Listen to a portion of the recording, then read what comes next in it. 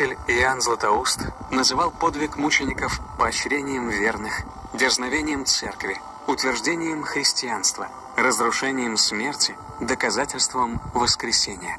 Чествуя праведность и силу веры мучеников Александра и Антонины, мы просим святых, молите Бога о нас.